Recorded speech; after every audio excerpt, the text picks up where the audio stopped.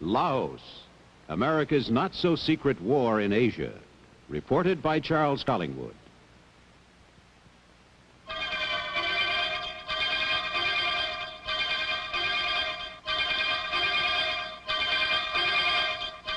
Who, what, when, where, why?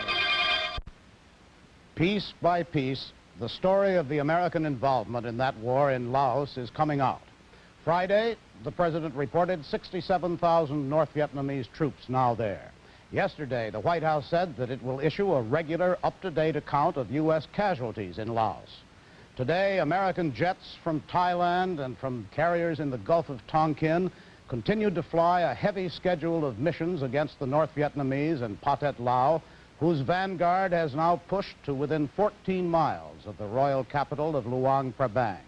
In the administrative capital, Vientiane, the Prime Minister, Souvanna Phouma, is waiting for the delivery of the peace demands of his half-brother and antagonist, the communist Prince Souphanouvong. After years of secrecy and silence, we are now learning a lot about Laos.